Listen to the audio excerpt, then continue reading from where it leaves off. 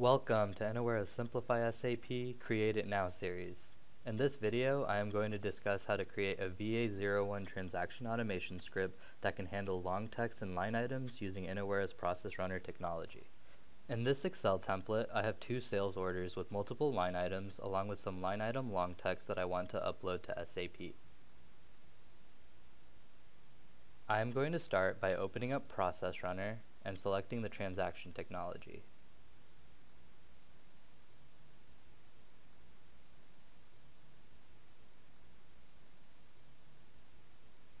I will enter the transaction code VA01 here and log into any SAP system from my SAP landscape. Process Runner officially works with SAP systems from 4.7 up to HANA, and it supports single sign-on, enterprise portal, SNC, SSO1, SSO2, HTTP, and HTTPS authentication. Now I am taken into SAP to record my script. I will enter an order type of OR, sales organization of 1000, distribution channel of 12, and division of 00. 0.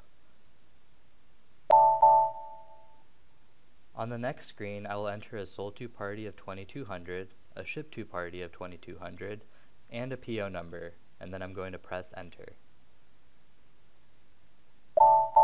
Now that I have recorded my header data, I need to record the line item data.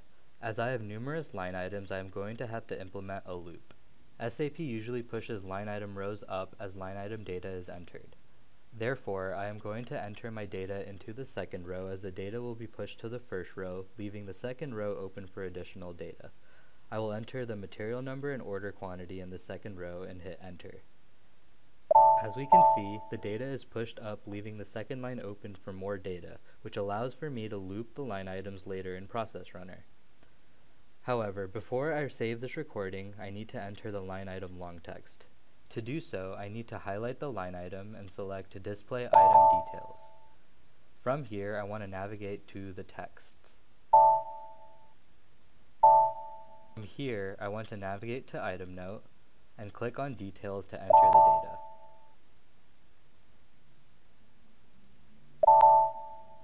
I will enter a line item text such as simple item note 1 and hit back. I will be asked to save the text, and if I hit back one more time, I'll be taken back to the overview. From here, I can save the script.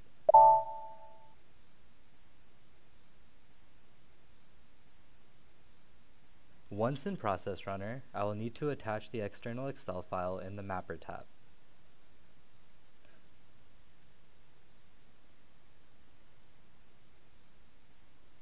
I want to loop the line items in the script. With Process Runner, loops are always implemented at the screen level as it separates the header and line item data. So I will start the loop at the screen before the material number field as that is where the line items begin. An end loop will automatically be added just before the last save screen.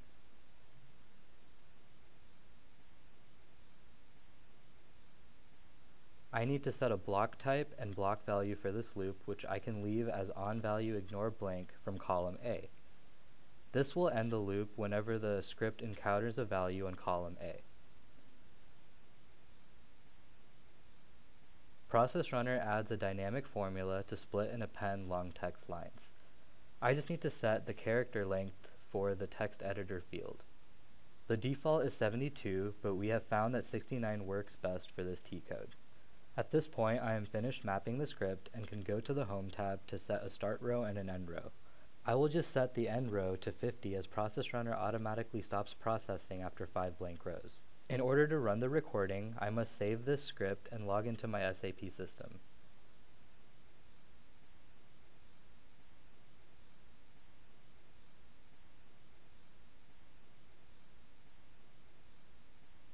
The SAP messaging lets me know that my standard orders have been created.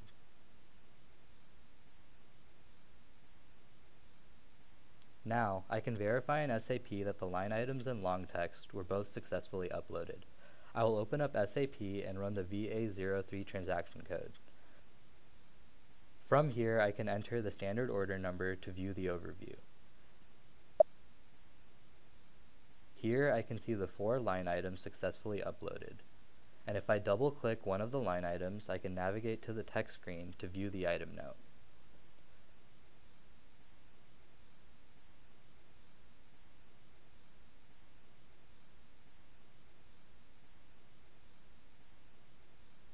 Thanks for watching, and if you would like to learn more about how to simplify SAP, visit us at innowera.com.